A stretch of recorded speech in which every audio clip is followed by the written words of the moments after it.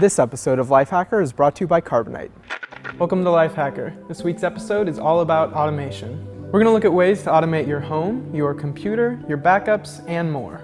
So let's get started.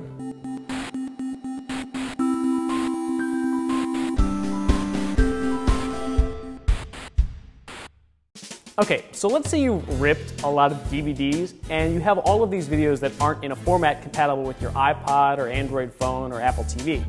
Instead of running each and every one of those videos through Handbrake, you can set up a program called Drop Folders, which will just watch one folder on your hard drive constantly.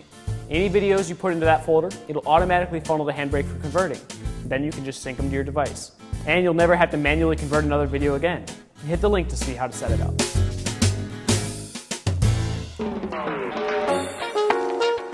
Doesn't it suck when you've driven away from your house and you're not sure whether you turned off your AC or even closed your garage door? If you have home automation, you can check on your phone or on your iPad or even on a computer to make sure you've done all these things. So with home automation, you can turn on and off the lights, control your TV system, or even just set your alarm when you're about to head out.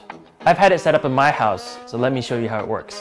One of the simplest features of home automations is turning on and off lights. These simple light switches act as simple light switches, and these more complex ones do scenes such as turning on your AC or turning off all your lights when you're about to go to bed. Or you can pick up your iPhone or tablet, access the Control4 app, and turn on and off lights no matter where you are. In addition to being able to turn on and off your lights, you can also lock or unlock your door. So when you go out for bike rides and you don't want to carry a bunch of keys, all you need to do is carry your phone. When you get back, It'll unlock the door and turn on the lights for you as you're entering the, your house. And you can even set it up to open your garage door. And these light switch lights actually have a functional purpose too. If this one is red, that means the garage door is open. So I can easily close that. Another feature of the home automation system is that it can act as a universal remote. So your remote connects to this box, which looks like a DVR, and it can also control your TV via the TV interface. So you can sit on your couch and thumb through all the stuff we've talked about, like turning on your lights or opening your garage door. You can connect to this using your iPhone app or your web browser or anything that otherwise talks to Control4 technology. Unfortunately, this thing needs to be installed by a professional installer. This goes the same for Crestron if you're interested. Uh, the problem with that is that even if you're a DIY guy, you can't buy the parts yourself, you can't program it yourself because they have some kind of rule about this only needs to go through resellers. So keep that in mind. So if you're interested in setting up home automation for yourself and you're not going to move for a couple years, go to Lifehacker for more details.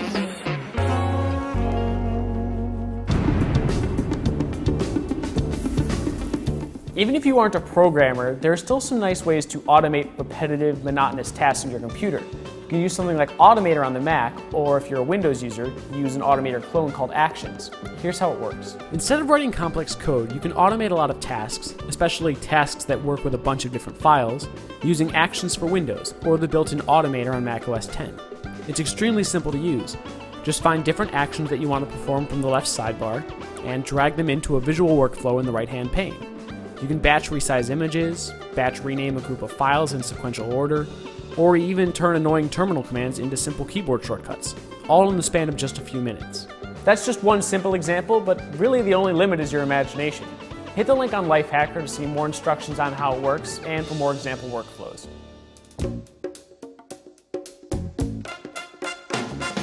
More and more, the fragments of your life exist in digital form on hard drives, whether that's on your computer or on your Android or iPhone. As such, backing up is more important than ever.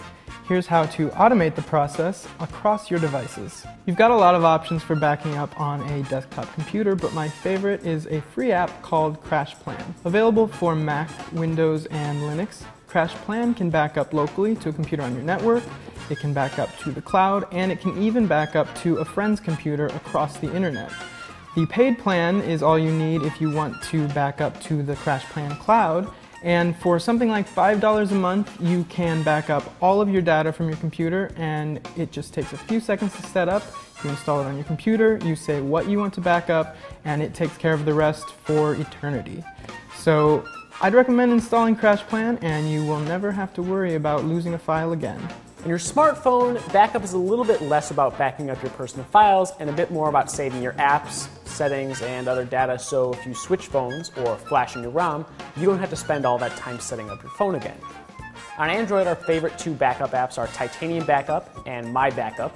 You do need to be rooted for most of the cool features, but as we've shown you in a previous episode, it's not that difficult to do.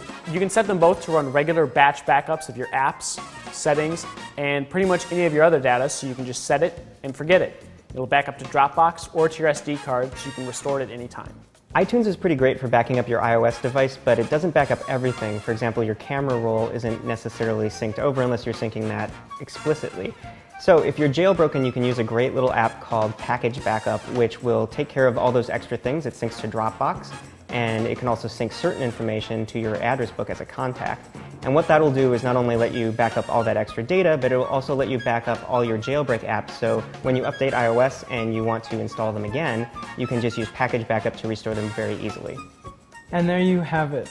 Just takes a few seconds to set up, but once you've done it, you'll make sure all your data is safe going forward.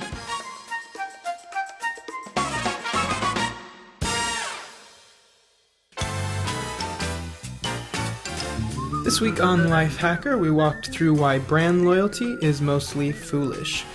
We are all creatures of habit and get used to specific brands, but in many cases it costs us unnecessary cash, and sometimes even a quality product.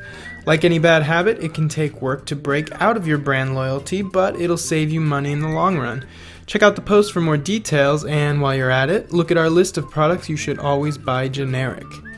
Next up, we showed you how to upgrade your Hackintosh to Lion. Upgrading your machine to Lion has taken quite a bit of finagling in the past, but the folks over at Tony Mac have just released Unibeast, a utility that should make it a breeze. Check out the post and the site for details, but before you do anything, make sure you actually want Lion on your machine. Finally, GitHub developer Zach Holman published a non designer's guide to making quality presentation slides. Presentations are an art form and slides are an effective way of communicating information, but if your slides are bad, your message often suffers.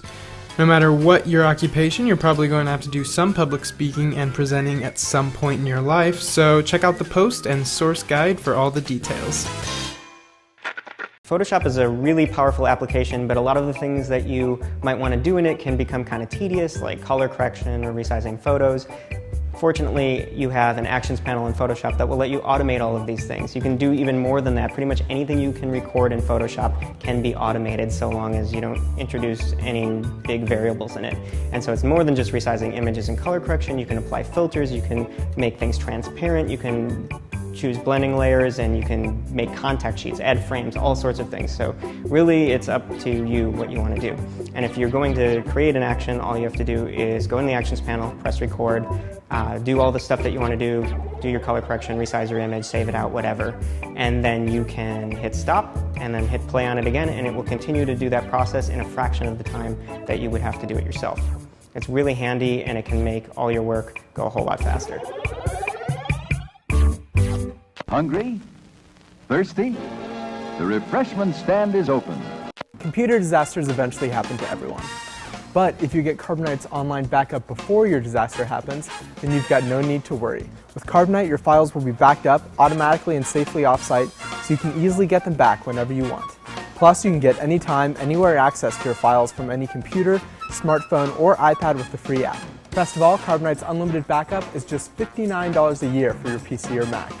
And when you use the offer code LifeHacker at checkout, you can get your first two months free with purchase. All the details are at carbonite.com, and remember to use that offer code LifeHacker when you sign up.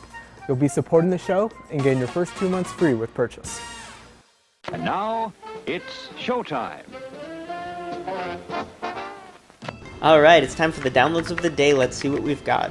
First things first, backing up your computer or smartphone is one of those things you don't want to leave to your memory, or chances are you will never do it. Check out our top disk cloning and backup apps for every platform, as each one has automation baked right in. Next up, Volume Concierge is a Windows app that automatically controls your computer's volume based on a schedule. If you frequently leave your computer's sound on overnight by accident, for example, you can use this app to make sure your machine mutes itself. Tasks Til Dawn is a Mac app that'll let you schedule tasks in Apple scripts to run at specified times. You can even set up schedules when you're looking to repeat the same actions regularly. Juice Defender for Android helps you eke out a little extra battery life by automatically disabling power sucking features like cellular data and Wi Fi when you don't need them.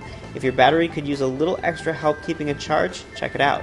Finally, we have System Silencer for Windows. It's an automation app that'll schedule various tasks to be performed the moment your system is idle.